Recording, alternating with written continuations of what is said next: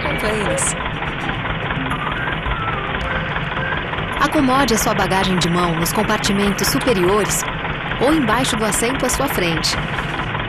Corredores, saídas de emergência e a primeira fila devem estar livres de bagagem.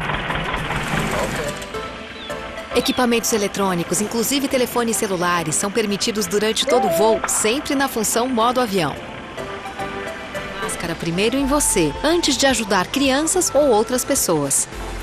Para mais informações, por favor, consulte o nosso cartão de instruções de segurança localizado no bolsão à sua frente. Obrigada pela sua atenção e aproveite o seu voo com a Latam.